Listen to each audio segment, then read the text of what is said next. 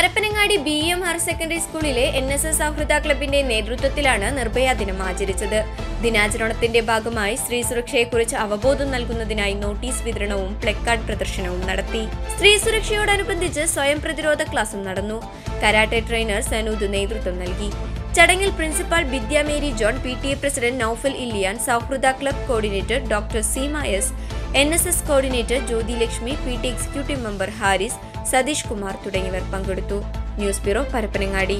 നിങ്ങളുടെ സന്തോഷ നിമിഷങ്ങളുടെ partner Aadhaar gold and precious. Kondotty Perambra Manjeri Chemmad.